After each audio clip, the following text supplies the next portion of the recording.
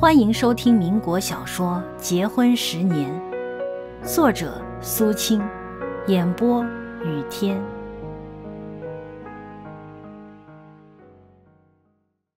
第十一集。信英出嫁以后，家中除公婆、老黄妈外，便只有一个微微了。大家嫌寂寞。有一次，公公忽然开言道。微微今年四岁了吧？婆婆闷闷不乐的答应声：“可不是。”只有老黄妈在旁说穿了他们的心事，道：“少奶奶也该再养个弟弟了。”我缩了贤一眼，低下头去不语。贤只自笑了笑。到了民国二十六年春天。贤在忙着准备毕业论文了，他一面抄材料，一面对我道：“想不到你真的会怀孕了，产期恰在七月里，那时候我也毕业了，可以说是双喜临门。”我说：“你还是先别太开心吧，毕业后若是找不到更好职业，教书是养不活人的，又不好向家中再去要钱。”养了孩子，这才叫做祸不单行呢，还说什么喜不喜的，说的他更加忧愁起来。公公的脾气我是知道的，他渴望我能早日替他养个孙子，正如渴望贤能早日毕业，赶快替他光大门楣一般。但是这些都要碰运气，又怎么能够心急的来呢？终于暑假开始了。公公寄了三千元钱来，还附着一封长信，劝贤另外去找幢像样的房子，做些衣服。最后还叮嘱他给我多买些吃食，生产时得好好保养。这次准是养小子的。他说，因为他已去替我们算过命了。贤拿了这笔钱，心里更加着急起来，说是找房子最要紧吧。一则客人来时体面些，二则养了孩子也可以住了舒服。但是究竟到哪里去找呢？我是秃着肚皮行动不便的，林妈又只够忙着烧饭。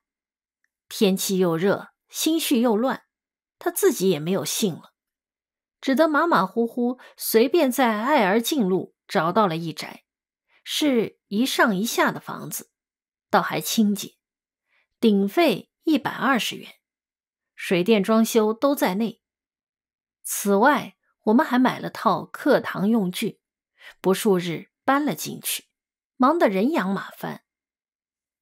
亲戚朋友送来了许多银盾镜框之属，也有贺毕业的，也有贺乔迁的。我们收到了，只会苦笑。本来我们家又不愁吃不愁用的。只因为男人不能自立，似乎是件顶失面子的事，因此急得贤日夜奔跑街头，面庞晒得又黑又消瘦了。他既没法常在家布置房屋的事，就只好轮到我与林妈头上了。我们把客厅收拾得顶整齐，楼上本来隔成两间的，前间做卧室，后间就空着，预备留给奶妈住。这间课堂特别的高，上面没有天花板，却有一阁楼，望去黑黝黝的，而且还有一个神龛，两旁挂着两条黄绸，尘封诸迹，大概是从前的屋主移下来的。会不会是前主人因房子不安宁，用以禁邪的呢？那自然不得而知了。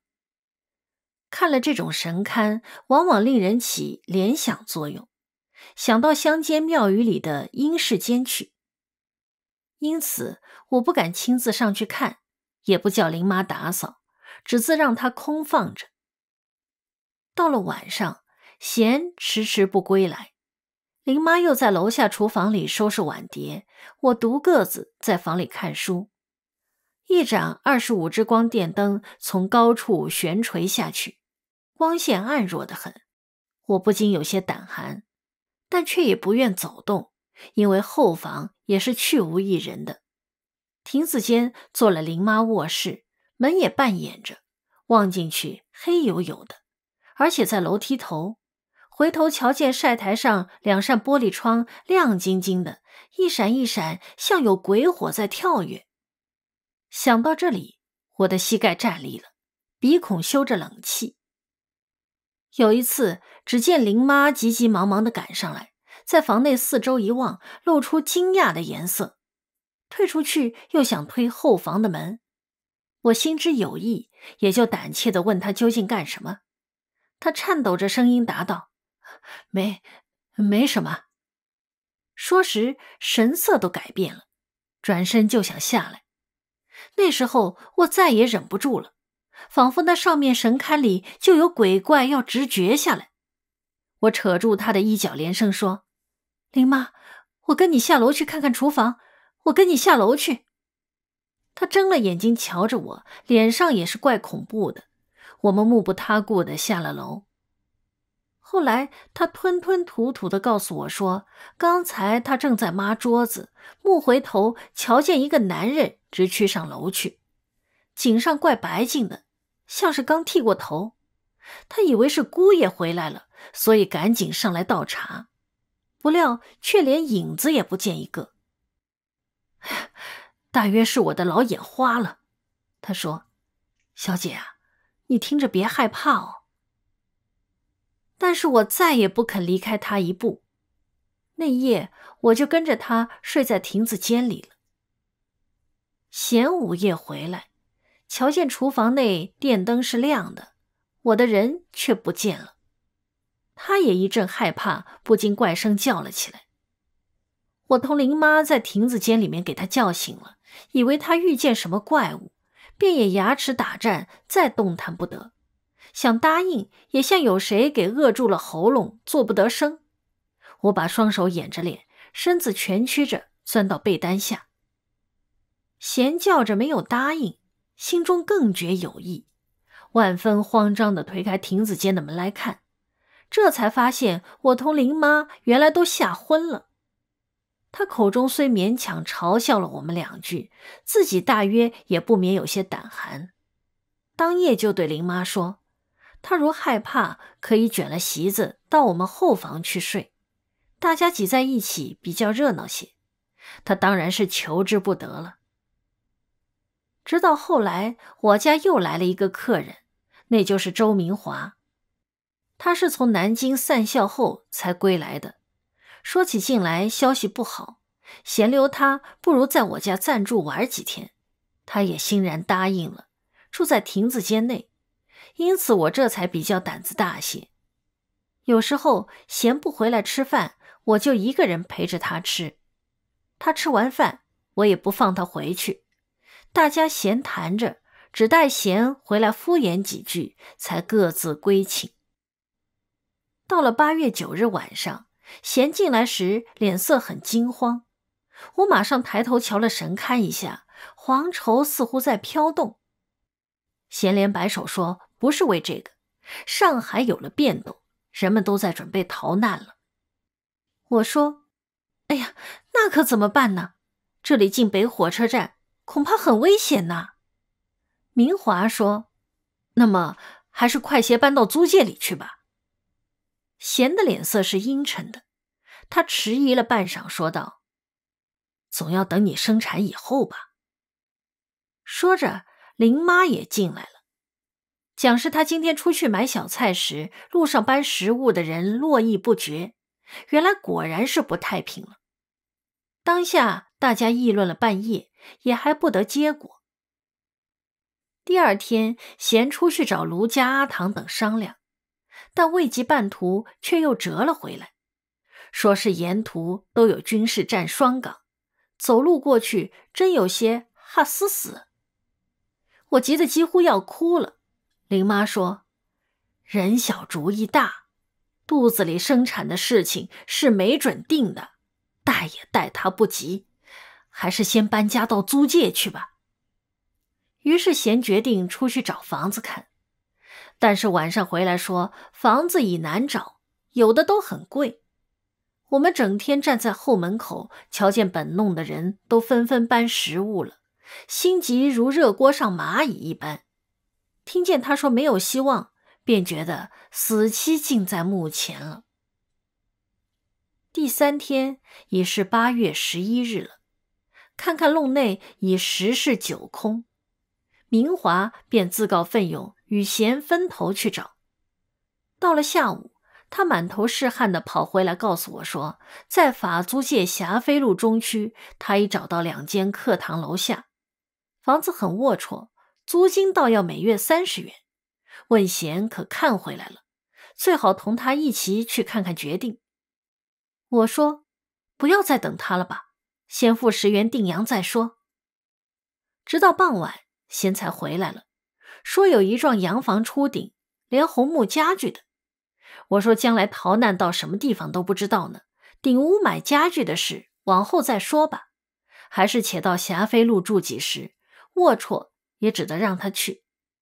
但愿空惊慌一场，早些能回到这里来便好了。”当晚，我们就携了些包裹细软去，三人坐了三辆黄包车，只有林妈看家。一路上拥挤非凡，行人车夫都吆喝着。但也休想挤上去分毫。我看看自己凸大的肚皮，只流泪。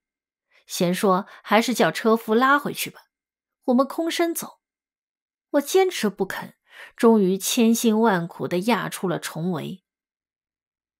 这夜里睡在新房子里，只向房东借条席子打地铺睡，上面胡乱盖条被单。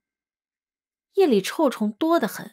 我翻来覆去没有睡着，贤同明华又回到爱儿进路老家收拾东西去了，约定明日同林妈三个运杂物，捡顶简单的用具带来，其余只好凭造化了。但是等到次日晌午，他们三人还不见到来。我从清早起来，粒米不曾下肚，连洗脸水都没有。只觉得腹中像作怪起来。到了十二点半左右，贤同明华及林妈等总算跟着两辆他车来了，说是食物途中已失落不少，但是我们也不去管他，只把所有的安排好了再说。我帮着他们递这样拿那样的，贤说：“哎呀，你且别忙吧，看等会儿闪了腰。”我起初还勉强忍着。给他这么一说，便觉得整个腹中隐隐作痛起来了。午饭我们都没有吃，大家只吃碗面。晚饭时，贤说该喝两杯酒了，命林妈出去买些叉烧之类来。正待用柱吃个畅快时，我皱着眉头上厕所去了。于是肚子一阵阵痛起来。直到十时半左右，我实在忍不住了，便也顾不得闲的疲劳，把他刚睡着的眼睛叫睁开来。闲倒也更不怠慢，忙雇了汽车，把我直送到仁德医院去。林妈跟着同行，家中由周明华管着。我在车中捏着他的手腕，呜咽道：“实是这样的危险，坐禅以后怎么逃呢？”贤说：“我们且听天由命在这里吧，要活一起活，死便一起死。”我感激的落下泪来，肚子却又绞痛的更厉害了。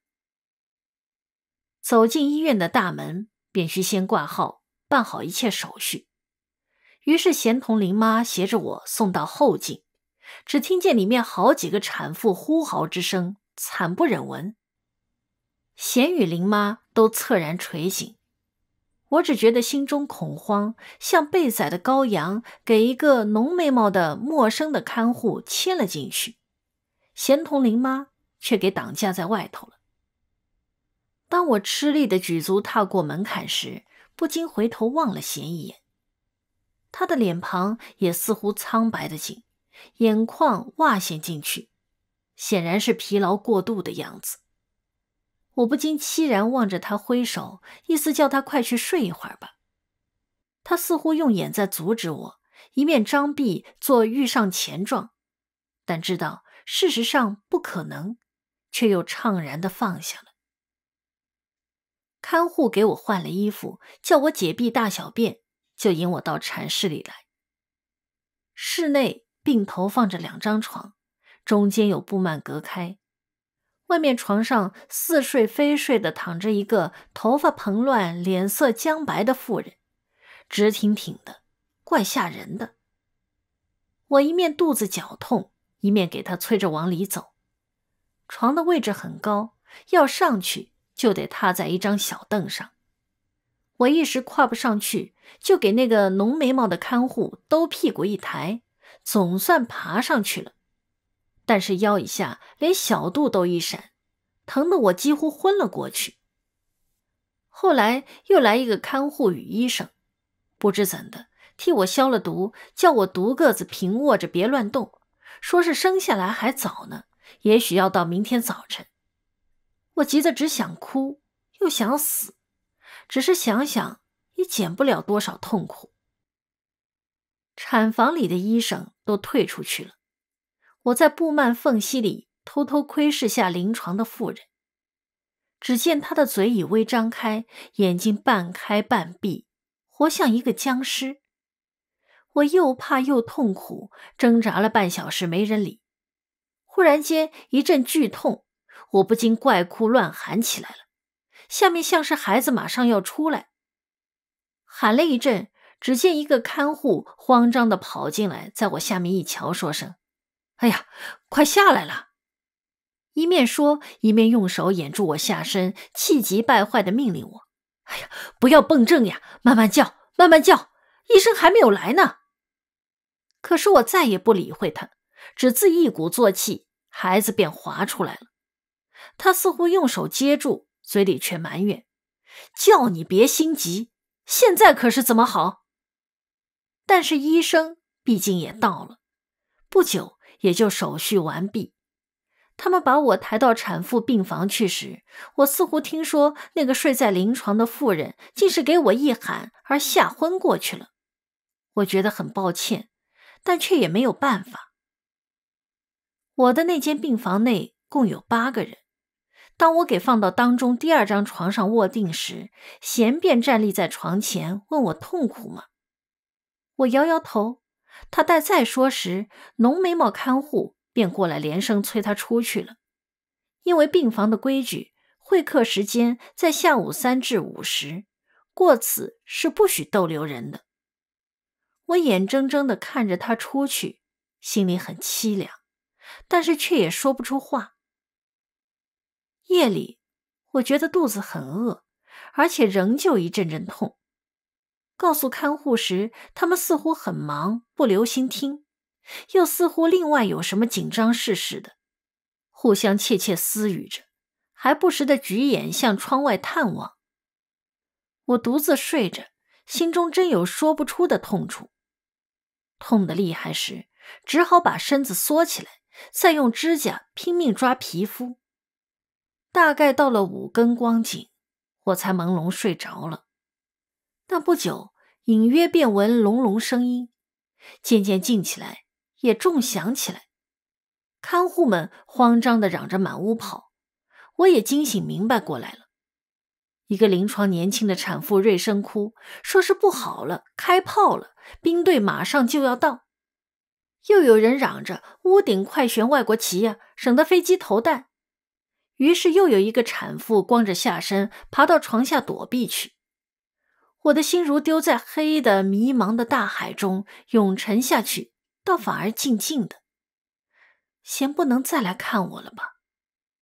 大难临头，夫妻便永别了，各自飞散了。于是我垂泪向看护讨些吃食，他们给了我一碗薄粥，两碟小菜。则是黄豆芽与酱瓜，我嚼着咽着，觉得十分伤心。贤也许慌张的独自逃走了吧？爱儿进路的房子也许全烧毁了。还有林妈，还有周明华，他们都到哪里去了呢？只留下我孤零零一个人在医院里挨着日子等死。即使成了鬼魂，也无依无靠的，找不到归家路呀。我的孩子，我的新产的孩子呢？也不知是男是女。可怜他还不曾吃过一次奶，不曾贴近过他母亲的胸膛，只在落地后经人抱开了，便永远不能与我见面。不，我简直是从来也不曾见过他的脸呀。想到这里，我不禁歇斯底里的喊叫起来。只见贤悄然站在床前，摇手止住我勿吵。他说明天他要接我回去，然而医院不答应，他情愿倒立保单给院方，声明危险与他们无涉。我们预备三五天内就要逃回恩城去了，新生的女儿也得带了去。什么？新生的女儿，贤已经打电报把搬家及养女儿的事通通报告家中了吧？我不愿再看公婆失望的面孔，我不愿回到恩城去。隆隆的炮声虽然震得玻璃窗格格抖动着响，但我绝不恐惧，宁可守着我的女儿在这里同城炮灰。我不能带她回去，让她受委屈啊！到了第三天上，我撺掇着贤快同医院交涉，破例让我早回家去。起先他们是坚持不肯，后来我说全家都要逃难去了，你们留住我一个人在医院里，预备免费供给我吃用过一世吗？闹得医生们没办法，只好替我检查过身体，觉得还没有什么。就让我带着婴儿回家来了。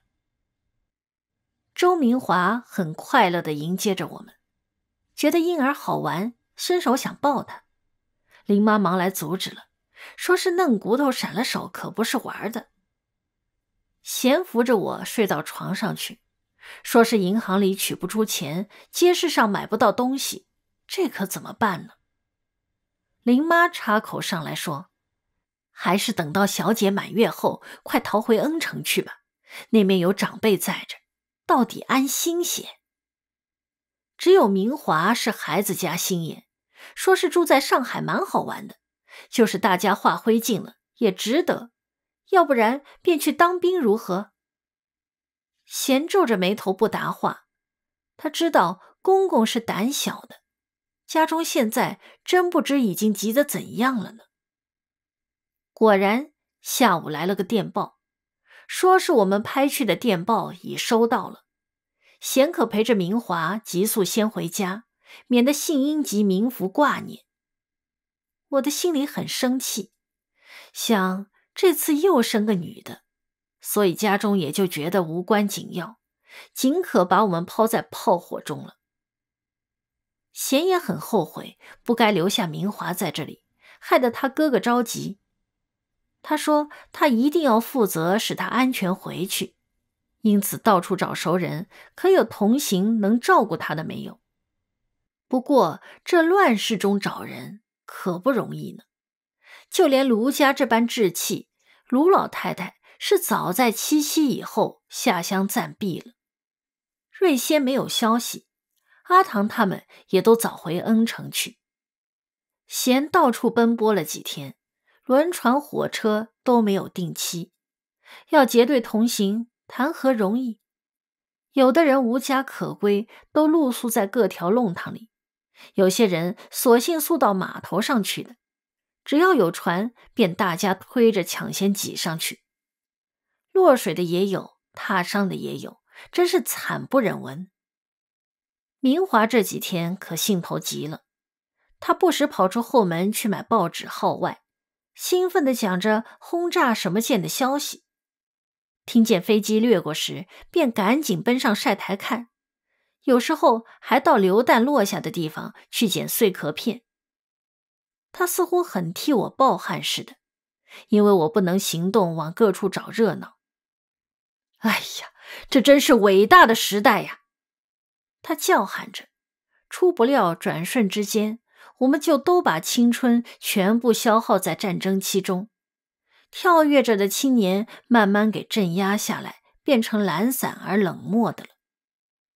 我不能忘记有一次，他曾清楚地对我说：“我们宁可炸弹下来，炸得血肉横飞的送了命，也不要让生活压榨的一滴血液也不剩呀。”话虽然不错，但是事实上，后来却有许多人都自己抽出热血求苟安了。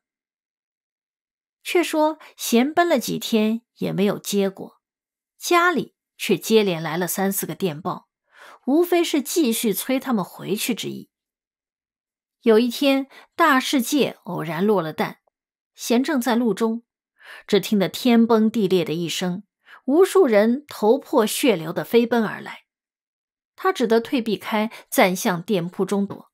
良久良久，才打听明白，走回家也来不及细说，恐怕惊吓着我。然而我已经在当时吓得魂不附体。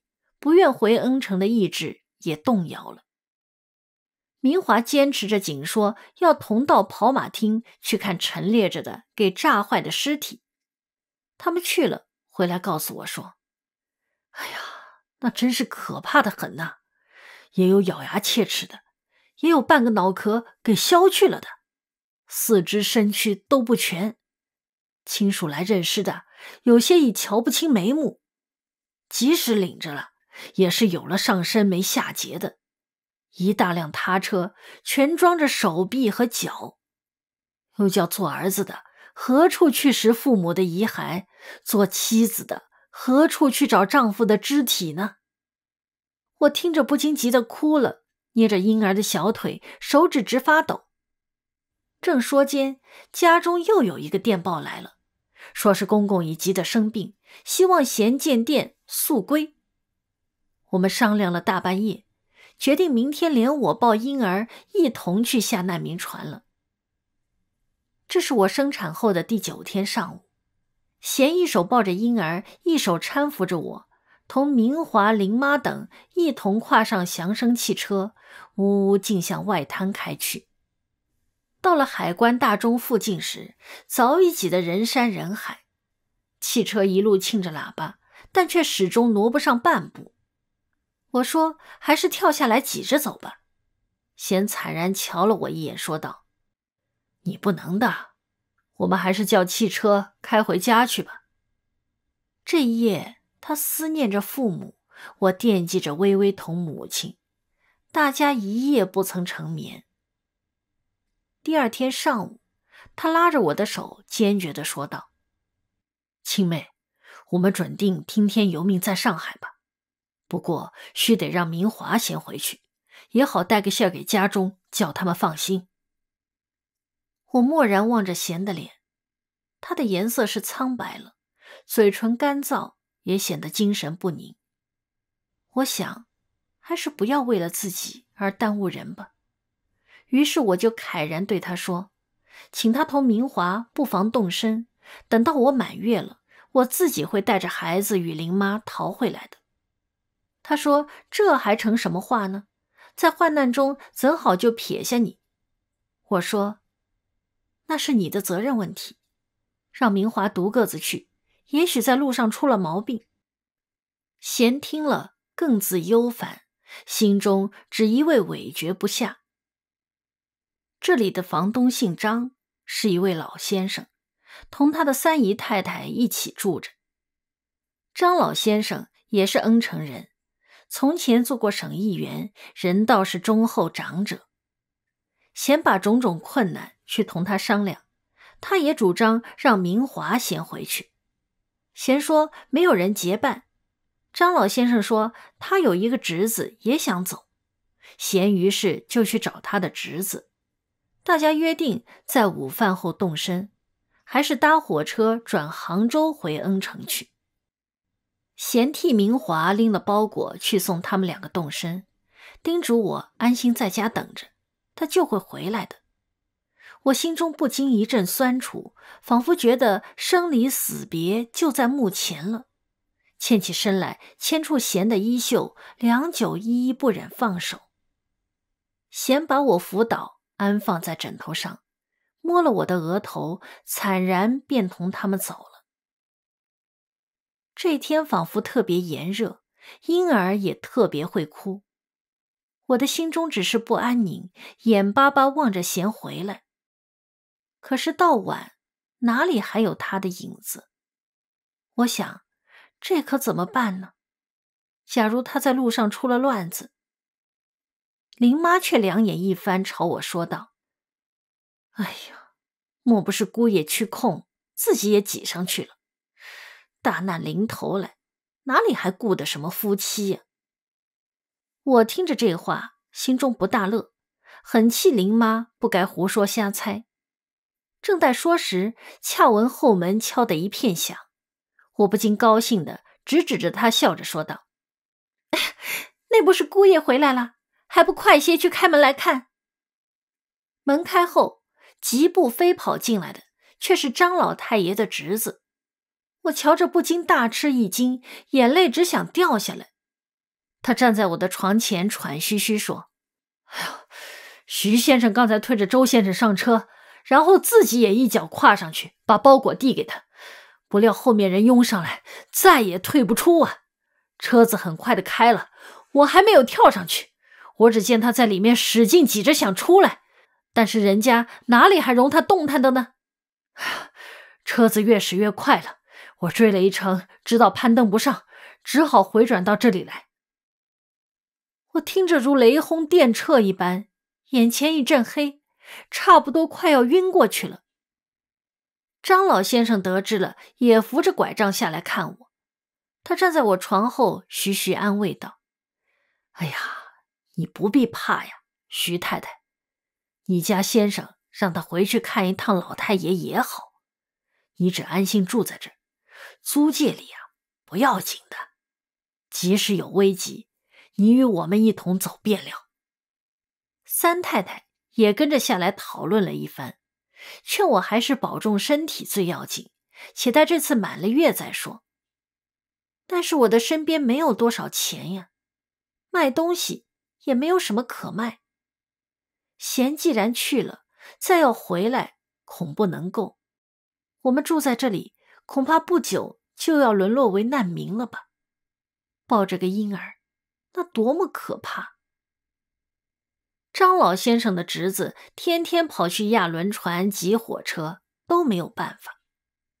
有一天，他忽然兴冲冲回来，对我们说：“哎呀，后天有一只特放轮船要开了，船票卖得很贵，还有难民捐，那是同乡会发起，一举两得，激励乡人捐助难民的，可以先购票。”于是我同林妈商量定了，决定托他代购两张官舱票子，船费。每张是六元，外加难民捐五十元。虽经张先生及三太太再三劝阻，但我主意已定，他们也没有办法。于是我们就整理食物，顶要紧的是婴儿衣衫、围裙及尿布，其次是他的奶粉及热水瓶等。我自己只带两套换身的衣服，林妈的包裹往来则绝不愿意放弃。经我再三相劝，说到了恩城我会买还给他的。